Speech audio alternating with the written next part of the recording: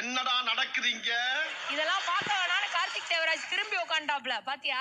இதெல்லாம் நான் நோட் பண்ணல நினைக்காத. கார்த்திக் தங்கச்சி ஆடிட்டு இருக்கிறத நீ பார்க்காம திரும்பி உட்காந்துட்டு இருக்க. அதானே?